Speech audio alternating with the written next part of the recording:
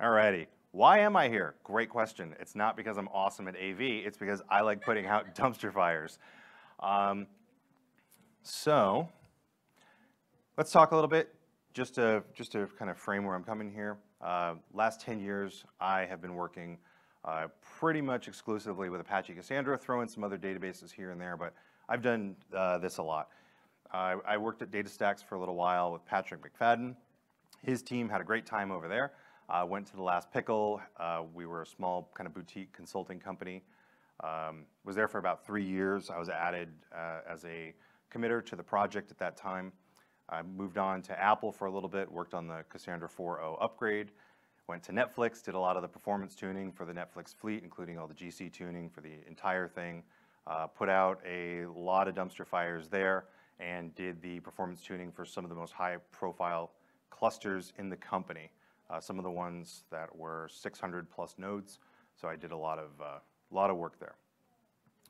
Um, we do have to ask ourselves, why do we care about performance? I think this is one of those things that uh, it's easy to kind of misunderstand the, the reason why we care.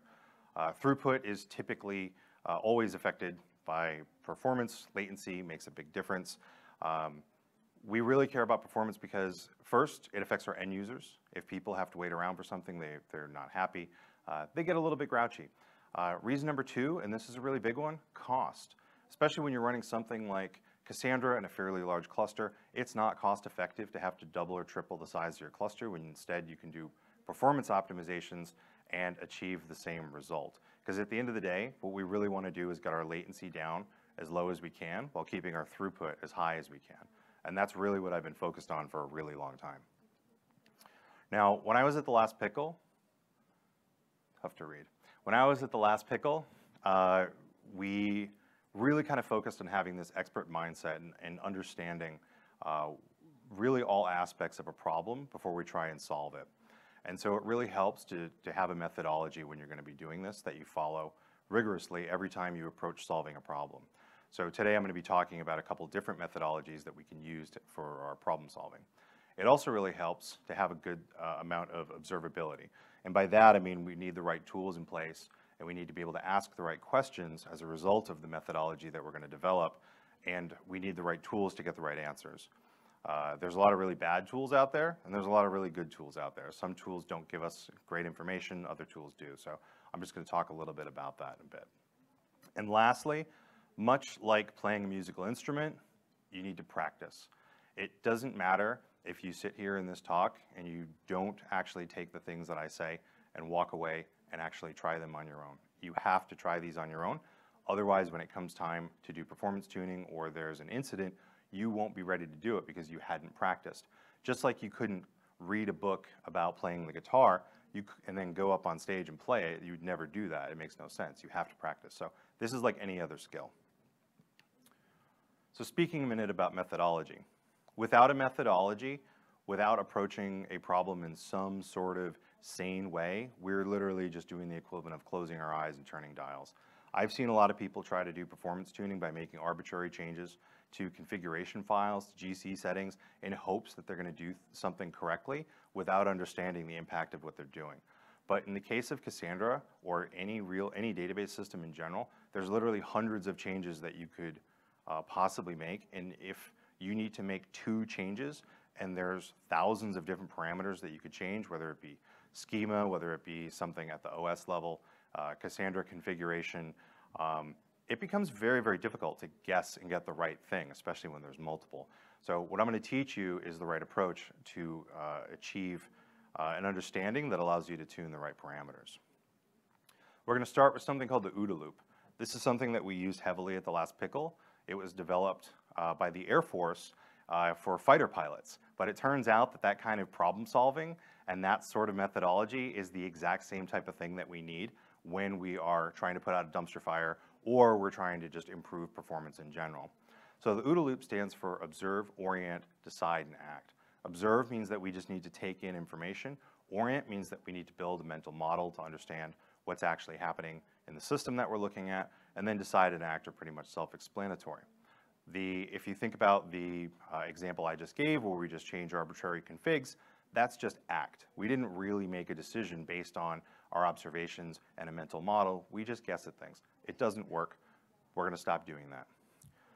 What we're going to do whenever we want to have a, uh, if we're going to want to do some sort of performance tuning, is implement the use method. Now, one thing I should have noted, but I got a little bit caught off uh, guard by my original, uh, by my laptop issue here. There are QR codes on these slides. I don't know if they're going to work when you take a picture of them, but they do link to other helpful resources, uh, whether it be blog posts, YouTube videos, um, things I've written, uh, stuff like that. So maybe it works. If someone can try, hopefully, uh, hopefully it does. Yeah, it does. Awesome. Cool.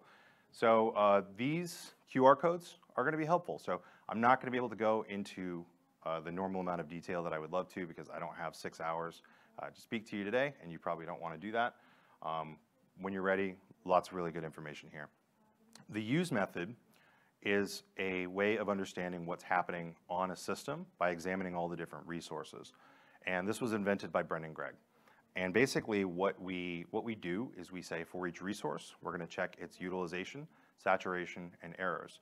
Now, utilization is something that we might be familiar with if you think about CPU utilization. This is fairly common uh, terminology.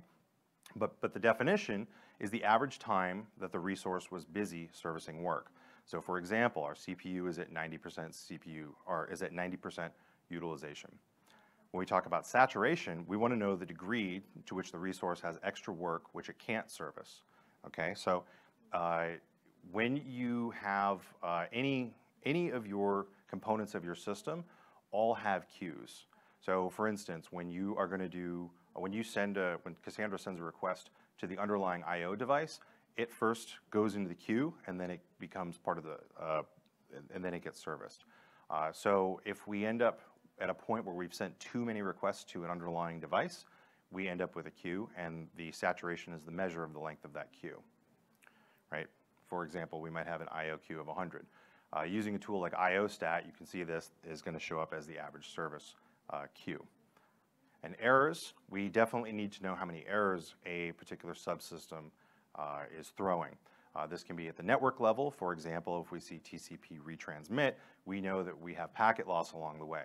So we need to be able to monitor each of the different components of the system, understand their utilization, saturation, and error rate. And we do that with awesome observability tools. So from a high level, you're definitely going to want to make sure that you have high-level dashboards that you can use to figure out when you have uh, nodes that are anomalies uh, or performing uh, outside of the, the normal um, expected behavior, uh, or if the entire cluster is uh, has a problem. Um, one thing, there's a few things that you don't want to do. I'm just going to go over a handful of anti-patterns because I see these a lot and I want to make sure that folks walk away and have something that they can, uh, they can work on here.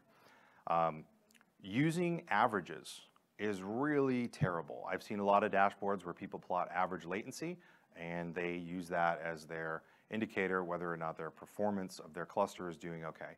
Average latency is worse than nothing because it will actually mislead you into thinking that the cluster is okay and you'll be sleeping just fine while your customers are experiencing uh, pretty terrible um, performance. Uh, the reason for that is because uh, a lot of your requests, it turns out, fall outside of the average. And if we're not doing a good job of uh, identifying when those requests are actually happening, we get lulled into a false sense of security, right? We don't want to hide the outliers. We actually want to do my opinion, it's silly to uh, graph anything less than P99, and you want to make sure that you're also graphing your max. So you need to know what your max latency is at any given time and your P99 latency, and anything under that, I would just ignore. I would not bother doing those graphs. Um, another common mistake is averaging summary data and only showing that. For instance, if we were to take the P99 latency from each node in a cluster and average that together and just plot that on a graph, we're not getting useful information because now we might have an outlier that's uh, experiencing significantly worse latency, uh, and we've hidden it by averaging that number. And if we take a deep dive into statistics, which we're not going to do right now, you'll discover that averaging a P99 latency does not give you any useful information at all. It's completely worthless. So what you want to do is, you, if you're going to show something like a P50, uh, you want to make sure that you're also, again, showing your highs and your lows. So whatever you think your average latency is for the cluster, uh, you also want to make sure that you understand where your worst latency is. And another anti-pattern is not understanding what your tools are actually telling you. It's really common, especially with a tool like IOStat, to look at some of the uh, output that it uh, is giving you, like the average service time, and think that that number is telling you something uh, good or bad. Uh, all it's doing is giving, once again, an average that doesn't mean anything. So I really recommend uh, taking a look at this uh, link that I have here with the QR code. We're actually going to learn quite a bit more. There's a, a guy named Gil uh, Tene who talks about, uh, he has a, a, talk from Strange Loop in 2016, and the talk was called, uh, I think it was Everything You Know About Latency is Wrong. Really, really interesting talk. He was is the CTO and co-founder of Azul and an incredibly bright guy. So I highly recommend looking into that uh, and watching it. And it's entire talk on this topic. So once we understand what's going on at a high level, I really like to use system tools. I think uh, observability tools like uh, Grafana, um, Prometheus, AxonOps are fantastic. Sometimes you need to get uh, in and get more granular data, and you need to get some data that might not be available in those tools. So you definitely want to be familiar with this. Now, at a high level, I think a lot of people are familiar with sysstat. sysstat comes with uh, useful tools like IOStat, which I've mentioned a couple times, MPStat, and a handful of other utilities. And these are really nice for getting a high-level, first cursory uh, look into your uh, into a node, but it doesn't actually give you enough detailed information to help you narrow down problems quickly. That's where I really, really like eBPF and BCC tools. So eBPF is a technology that originally was called Extended Berkeley Packet Filter. Uh, now it's just its own name, and it's no longer that. Um, this is this gives you the ability to tap into the Linux kernel uh, underlying uh, probes, and you can actually get a lot of detailed information about what's going on uh, in the various subsystems of your uh, server. So let's suppose that we want to answer a, a question, right? This is kind of a, um, a common activity. What happens if we give Cassandra a bigger heap? There's a few things that can happen as a result of this. One of those things is we can uh, improve our GC pause frequency because a larger heap gets collected less often. But one of the other side effects of this is we can take away memory from our page cache. If we only have uh, 32 gigs of RAM and we give Cassandra 30 gigs of RAM, we're not going to have a lot of memory left over for our page cache. So one of the things that people are very cautious about is making changes here, especially when it can, when it can take away. Your page cache is going to serve requests a lot faster than your underlying drive can, so making sure that you have high cache utilization is really important. But how to measure that is a big problem. So before and after you're going to make any uh, sort of changes to your heap, you're going to want to go in and take a look at a program called CacheStat. Again, this is available in BCC tools. So CacheStat can, can tell you your page cache hit ratio, and it can do so at any interval that you want. So I typically will run this at a one second interval over a long period of time, and I'll watch to get an idea of what kind of page cache hit rate I'm getting. That way, if I've uh, made a change to the amount of memory that I've allocated to Cassandra, I know whether or not that change now has a side effect of um, uh, taking away memory from page cache. And then, as a result of that, you would be expecting that you'd see more I.O. So then you have to ask yourself, well, how can I tell what's going on at the I.O. level uh, of my file system? So that's where we're going to use tools like ext4slower and ext4dist. Uh, the same tools exist for XFS, EFS, BTRFS, and a whole slew of file systems.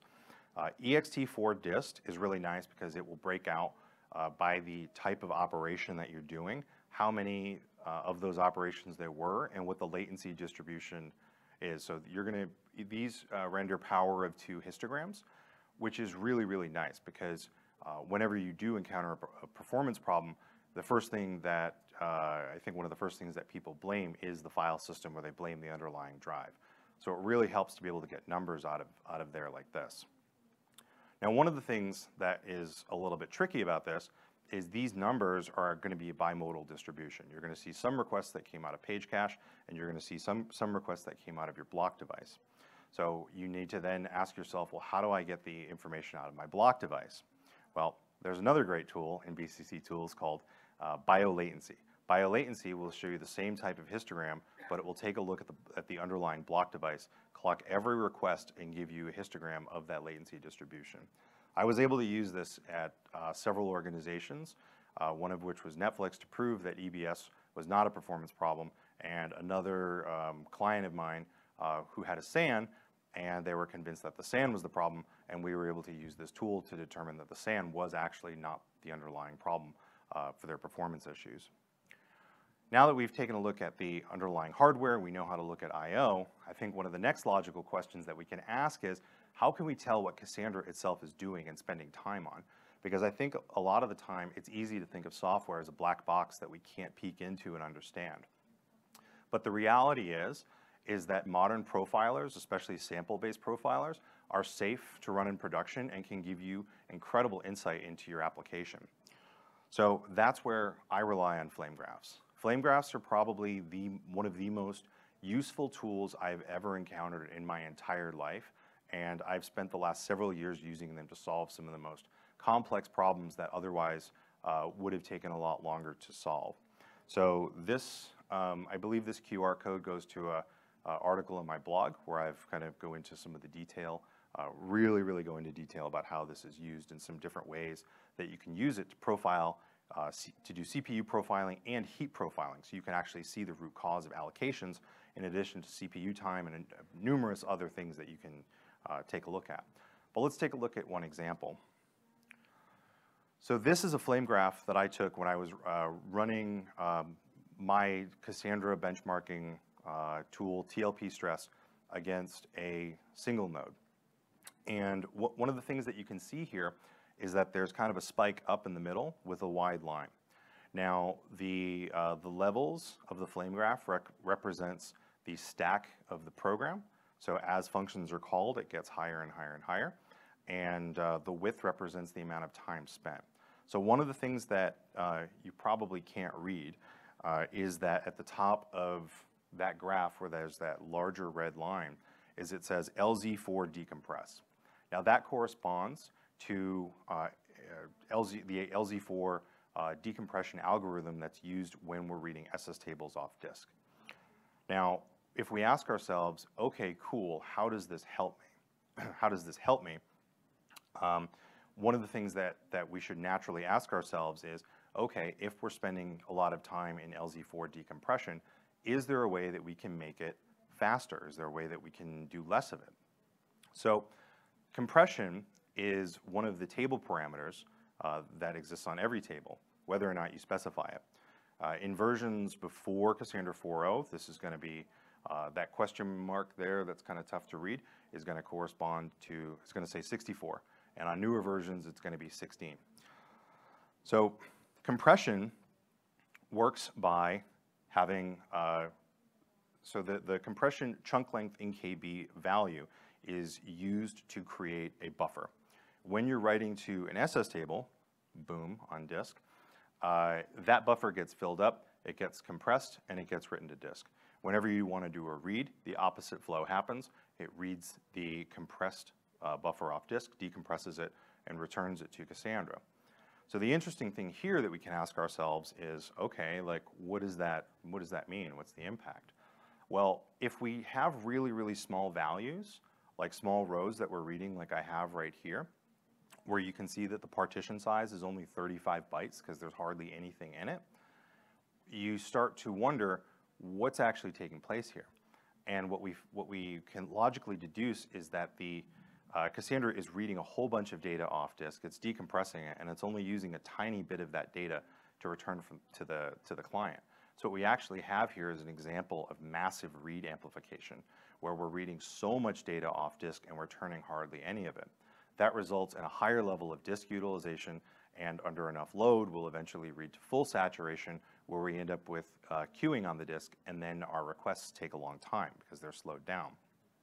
So one of the things that's important here is to be able to, to have the knowledge to be able to look at a tool like nodetool tablehistograms and figure out from the partition size that it's okay to resize your compression chunk length.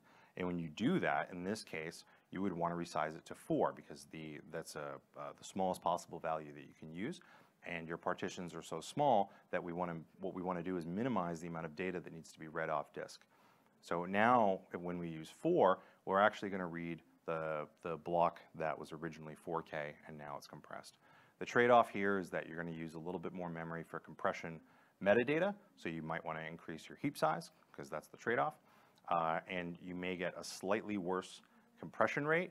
However, if your problem is I.O. and your problem is, uh, is related to GC pauses, this can help a lot because read amplification on small values is one of the problems that I've seen in almost every single cluster that I've looked at. So this doesn't just affect read-heavy workloads. This uh, actually affects several other workloads. So it affects anything else that's doing a read before a write. For example, if you're doing a lightweight transaction, when you do lightweight transactions, we actually have to read the original data off disk because you say if not exists or if some value equals something. Uh, so as a result of reading data off disk, now we actually have to think about how to tune our system and how to tune Cassandra to handle reads as performant as possible. And so typically with lightweight transactions, this might be uh, very, very small records. In fact, it's, it's, I can only think of instances where you would, where you would be doing something with one row. And so uh, you're pretty much always going to want to resize your, comp your compression chunk length to 4 KB uh, in instances where you're using lightweight transactions because the, the effect of read amplification is so significant. And it's the same thing with counters. Counters read the counters read the current value off disk and bring it back into memory. There is a counter cache, but counter cache shouldn't be thought of as something that just patches over uh, a slow problem. We need to fully optimize our system so that we can, um, even in the case of writing to counters which are not in the counter cache, we still get high performance. And that's why in Cassandra 4.0, we made this change, uh, lowering the default chunk length in KB uh, from 64 to 16, because for so many workloads, it actually makes a significant impact uh, to make this very, very simple change. And on the topic of read amplification, uh, if any of you have seen any of the things I've written or read about or spoken about at conferences before, uh, I really want to try and make sure that people understand this. One of the worst things that you can have on in Cassandra is one of the uh, system defaults, which is read ahead. Read ahead is one of the most tragically broken features in modern hardware, and it should basically be disabled in almost every single circumstance outside of uh, if you had like a really, really slow SAN where there was very, very high latency. Um, read ahead works by when you do a request for a particular uh, block, read ahead or a particular file, read ahead will get extra data and it puts it in the page cache. And the intent is to make up for the slow, uh, the slow latency of spinning disks. And it's supposed to help you keep more things in page cache. But what it really does is it puts more pressure on the CPU, more pressure on your disk, uh, and results in overall just poor performance for Cassandra. So I've worked in several situations, both uh, in my own benchmarking and in real environments, where I've gotten a 10x improvement uh, to workloads like counters and lightweight transactions. I did the performance tuning for one of the largest gaming services on the planet, uh, and this was the most important change that they made that uh, went from, uh, that helped them go from uh, outages during major releases to everything humming along super silky smooth. So if you're curious about how to figure this out, if you're impacted by this, if you haven't made a change, you probably are. By using blockdev report, we can take a look at the, uh, the number of, uh, sorry, the, the read ahead by going to this uh, RA column. Whoops. And the RA column uh, is going to say generally 256.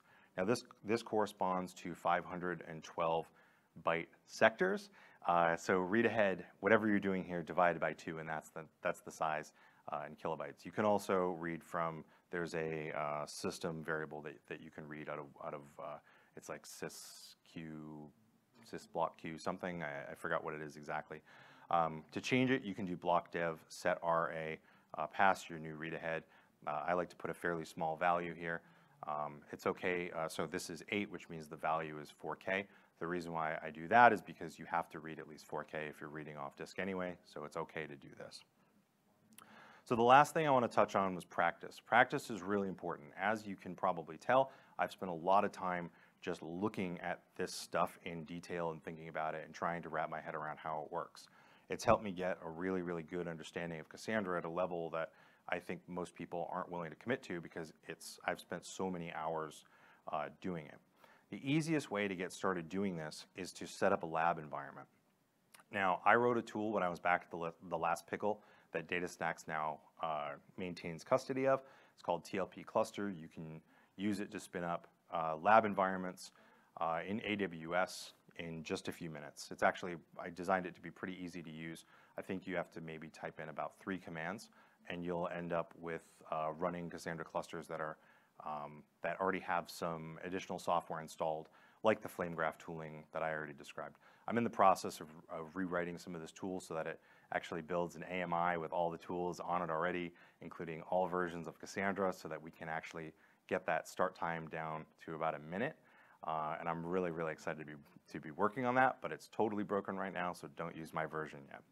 The other alternative that you can do is, is uh, set up AxonOps. So AxonOps recently, I think, what, today, yesterday, announced your provisioning process. So AxonOps is, is uh, uh, you can talk to John back there. Um, they have a really nice provisioning tool that can set up clusters for you uh, and set up monitoring for you. So if you're trying to, to just tinker with something and get it done, I know that they're offering, um, and uh, you can use a small environment for free. So um, pretty cool stuff, uh, but you just definitely need to have something that you can mess with. If you've already got all your own software, awesome, keep using that. You don't have to use anything else. Uh, but if you're looking to get started uh, with something easy, um, one of these tools is probably going to be your best bet. And the second thing that you need to do is benchmark. So you need to break things. I can't say enough how helpful it's been for me to have worked on so many clusters uh, that were broken. I, I know that might seem kind of crazy, but it, it means that I had to fix problems. And when you have to fix problems and you use something like the OODA loop, you get put in a position where you ask the right questions and then you can kind of build that mental model to understand how things work. And you get the best, uh, in my opinion, understanding of how a system works by breaking it and looking inside of it. Um, so I wrote TLP stress uh, back when I was at the last pickle. Uh, this is one of the most widely used benchmarking, one of the most pieces of widely used benchmarking software uh, for Cassandra. I know of uh, several hundred teams that are using it. Uh, it's used to benchmark some of the largest environments in the world. Um, there's also NoSQL Bench, which is from DataStax, and ND Bench, uh, which the folks at Netflix have provided. So in summary, it's really important that we have a good methodology and we follow it whenever trying to do any sort of problem solving. It doesn't just apply to uh, fixing, uh, improving performance and, and, fixing a problem. It, involve, it applies to dogfighting and anything else that you can possibly think of. Uh, next, we want to make sure that we understand uh, the full state of observability. That doesn't mean just your dashboards, but also the tools that you want to use when you want to look at an individual machine and answer very, very specific questions. There's a lot more uh, to the observability side that I didn't talk about. Um, there was a slide uh, on Brendan Gregg's slide that I um, went by kind of quickly. There was a QR code there. I hope you got it. Uh, and the last thing is practice. Practice is super important. If you don't practice, you won't know. So one of the things that I'm really, really excited about is to announce that I'm now uh, not just doing Cassandra consulting, uh, but I'm also doing training. So I am doing hands-on training sessions uh, starting Q2 of next year, where we're going to be doing Cassandra fundamentals uh, and a lot of this type of thing, uh, figuring out what's going on. So if you are looking uh, to learn pretty much everything about running Cassandra in a production environment at really, really big environments, uh, lots, lots of requests, millions of requests a second on some of the most complex systems in the world. I would love to share the information that I have and help you become uh, experts as well. Thank you.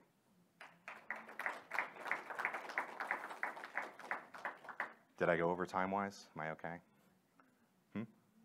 Oh, looks like one question.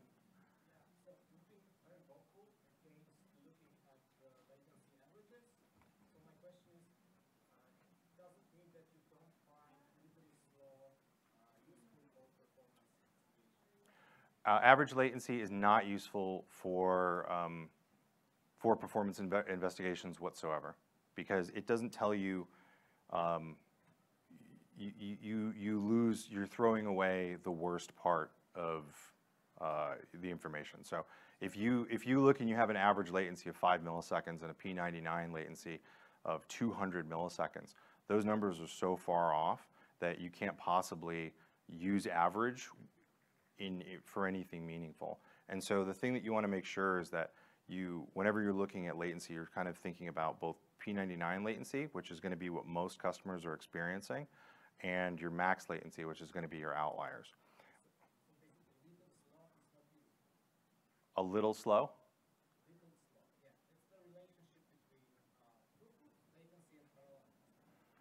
Uh, In the case of, again, I, I still say that average latency is not useful. So the, the, the, um, the QR code that I posted with, uh, on that slide le- leads to that talk by Gil Tene. The reason why uh, average latency is not useful at the database level is because of the birthday problem. So if you, if you're looking at 50%, if you, for example, you look at, uh, if you look at P50 instead, your P50 time, as soon as you do two requests by one user to the database, you're now, you only have a 25% likelihood of achieving that P50 latency. So as soon as you start plotting your averages, you start looking in this like fictional world of where your customers aren't actually experiencing it. So what you really want to do is focus on the P99. Yes? Um, do you use for the page cache, do you use um, the eBPF tools to kind of like get a sense of like if you can crank heap up higher? Because for us, like we, Yeah. we, we kind of keep it at like 31 to like, you know, keep the compressed object pointers, but like past that, we kind of like, it's kind of question.